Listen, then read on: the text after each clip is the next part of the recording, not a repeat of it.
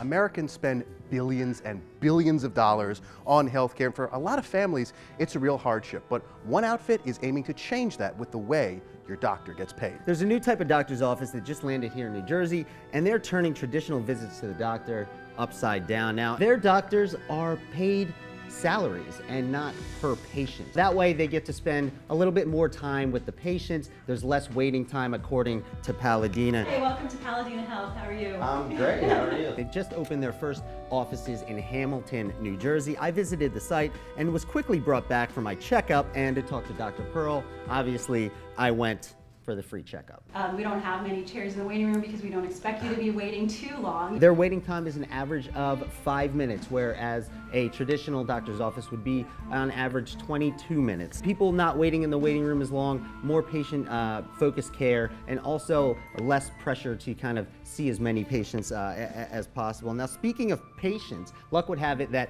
the very first patient that Paladina, New Jersey has had was actually at the office when I was there. Her name is Kina, and she is actually a psych nurse for the state of New Jersey, so somebody that knows what she's talking about. As a nurse, yeah. yes, I really do feel like I had personal attention. The doctor sat there herself and she went through everything.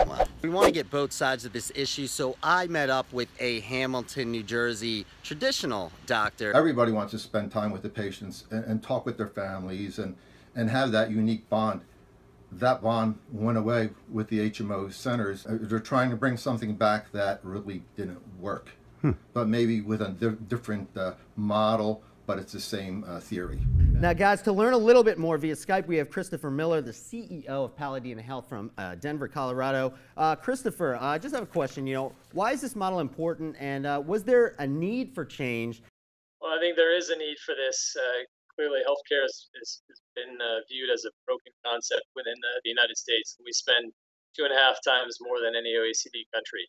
Uh, so there's a need for something to change. Now you claim that your salaries are competitive, but look, there are doctors out there that can make a lot of money. Aren't you necessarily taking from the bottom of the barrel, from the scrap heap, these people who can afford to be paid less because they've really got no other option? Not at all, no. So we really can attract much, much uh, higher quality individuals that want to provide medicine the way that they sh- it should be served. And so, again, getting back to the old kind of Marcus Welby model, when uh, when doctors used to make house calls. A survey done by Merritt Hawkins found in 2017 that compared to 2014, you're waiting about 30% longer to get an appointment. You're waiting 30% longer in the doctor's office. And when you don't feel good, that much longer waiting there, sitting there to see the doctor, it makes a huge difference. All right, we're going to keep an eye on you. Hope this business goes well. Thanks for your time, Chris.